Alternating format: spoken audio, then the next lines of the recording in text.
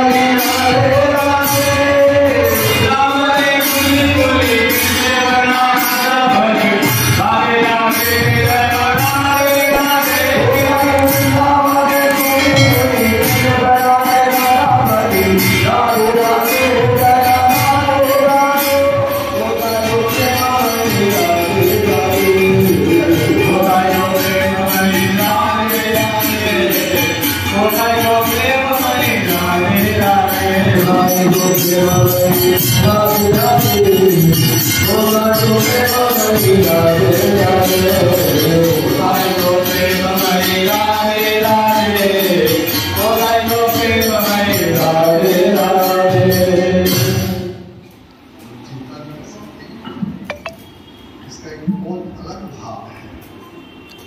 बहुत सुंदर इसका विवरण है।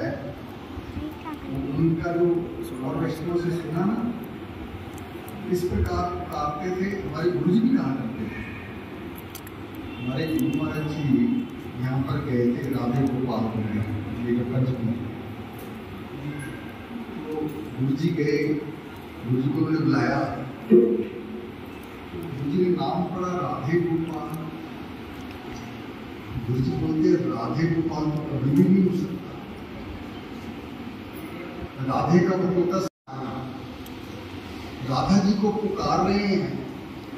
गोपाल तो राधे और गोपाल दोनों का बहुत अंतर है।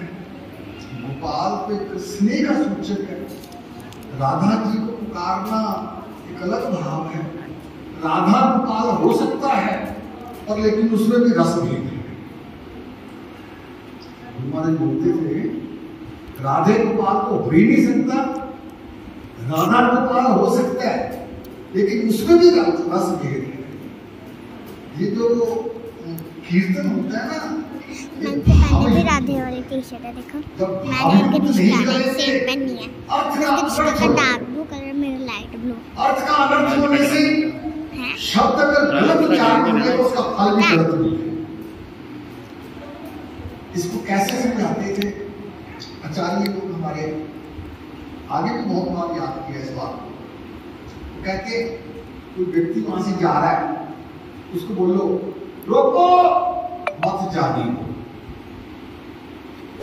क्या बोला?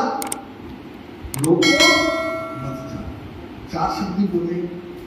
उच्चारण करने में अगर फ़र्क पड़ जाए, रोको, मत जाने दो। शब्द तो वही उच्चारण किए पहले बोला, रोको, मत जाने दो। इसको रोक लो, जाने नहीं देना। अगर उच्चारण में अंतर डाल दिया, रोको मत, जाने दो। कितना अंतर आ गया भाव में। शब्द वही उच्चारण किए उच्चारण करने में फ़र्क आ जाता है अर्थ का।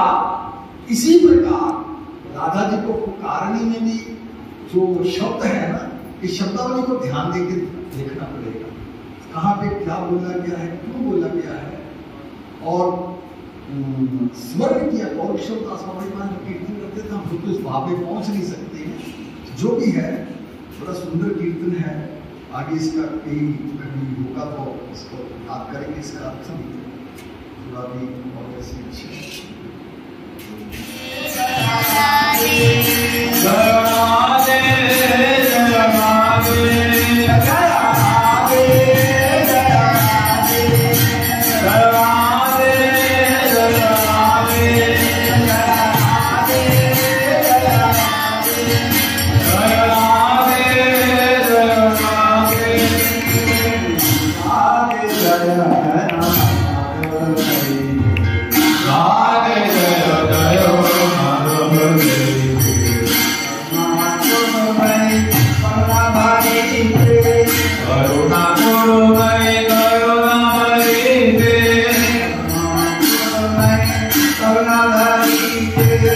Varuna